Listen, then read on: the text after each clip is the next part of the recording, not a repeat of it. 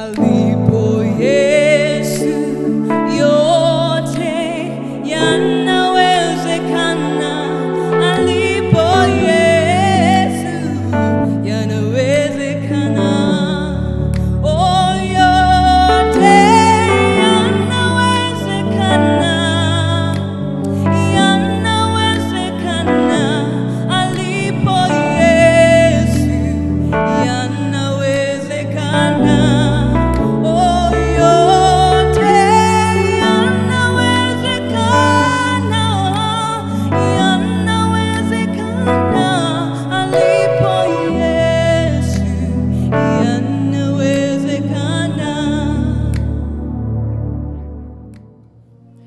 I believe you're well and you had a wonderful night. Today is our last uh, topic in regard to faith, and I'm going to read from the book of Hebrews, uh, chapter 11, and I'll read from verse 32. It says, And what more shall I say?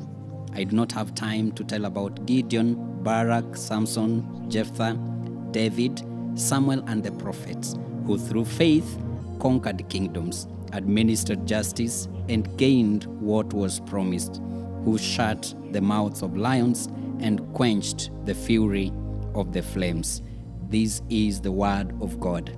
Indeed, today as I end, somebody could be wondering why would this pastor insist so much on faith?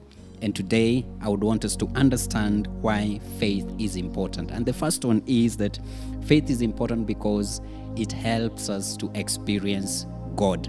We experience God in terms of tapping into His blessing. James chapter 5 verse 15 says that a prayer made in faith makes the sick well. And if he sins, his sins would be forgiven. That's a great blessing to be forgiven of your sins, to be made well out of a sickness. And this is an experience that we can only have through faith. Of course, faith also ex- ex- help us to experience God and give us victory. The text that I've just read tells us of very many Bible characters that God gave different kinds of victory. And of course, faith is also good enough to sustain us in the midst of pain and challenges. You remember Stephen? It took faith for him to withstand the stoning and the persecution that he went through. The second thing is that faith enhances our connectivity with God. Beloved, I don't know whether uh, whether you know where God lives. I don't know whether you have God's telephone number. Can you be able to see Him or even touch Him physically? Of course, we can't. That which makes us be connected with God is faith. And therefore, pursue faith because it is important. May the Lord grant you a blessed week.